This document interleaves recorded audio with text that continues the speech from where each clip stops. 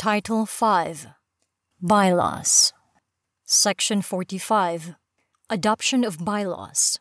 For the adoption of bylaws by the corporation, the affirmative vote of the stockholders representing at least a majority of the outstanding capital stock or of at least a majority of the members in case of non-stock corporations shall be necessary.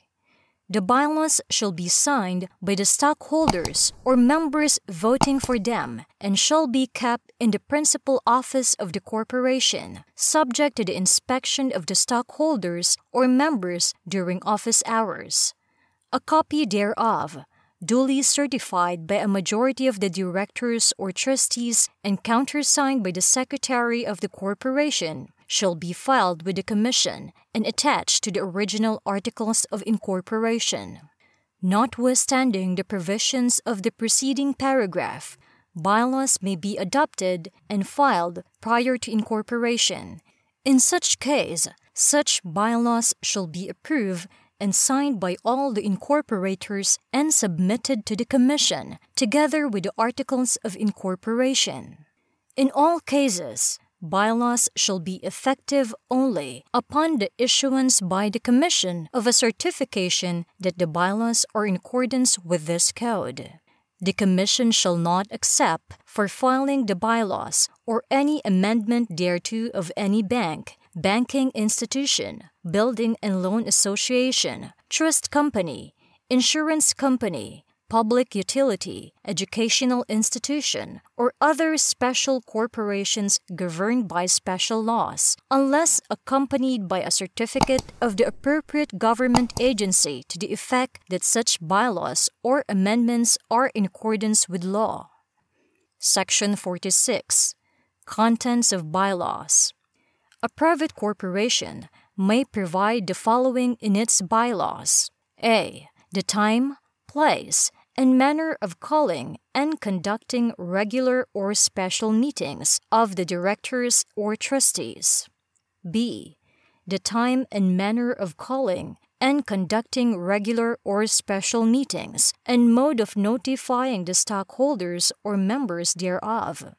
c. The required quorum in meetings of stockholders or members and the manner of voting therein. D. The modes by which a stockholder, member, director, or trustee may attend meetings and cast their votes. E. The form for proxies of stockholders and members and the manner of voting them. F. The directors or trustees' qualifications duties, and responsibilities, the guidelines for setting the compensation of directors or trustees and officers, and the maximum number of other board representations that an independent director or trustee may have, which shall, in no case, be more than the number prescribed by the Commission. G. The time for holding the annual election of directors or trustees and the mode or manner of giving notice thereof.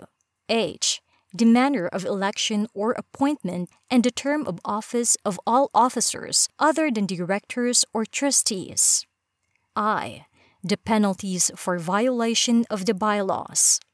J. In the case of stock corporations, the manner of issuing stock certificates.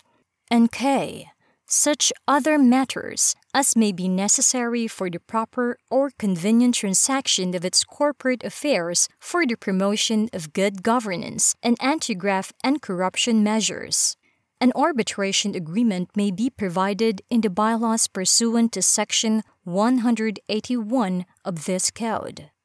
Section 47 Amendment to Bylaws a majority of the board of directors or trustees and the owners of at least a majority of the outstanding capital stock, or at least a majority of the members of a non stock corporation, at a regular or special meeting duly called for the purpose, may amend or repeal the bylaws or adopt new bylaws.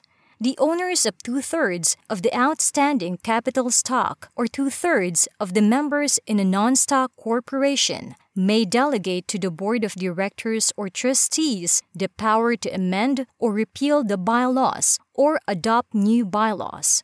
provided that any power delegated to the Board of Directors or Trustees to amend or repeal the bylaws or adopt new bylaws shall be considered as revoked whenever stockholders owning or representing a majority of the outstanding capital stock or majority of the members shall so vote at a regular or special meeting. Whenever the bylaws are amended or new bylaws are adopted, the corporation shall file with the Commission such amended or new bylaws and, if applicable, the stockholders or members' resolution authorizing the delegation of the power to amend and or adopt new bylaws duly certified under oath by the corporate secretary and a majority of the directors or trustees. The amended or new bylaws shall only be effective upon the issuance by the Commission of a certification that the same is in accordance with this code and other relevant laws.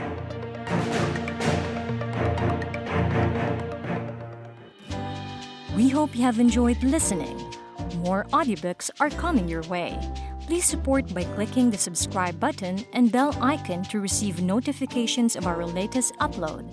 A like and share is appreciated. Audio and performance copyright by RAK Audio, all rights reserved.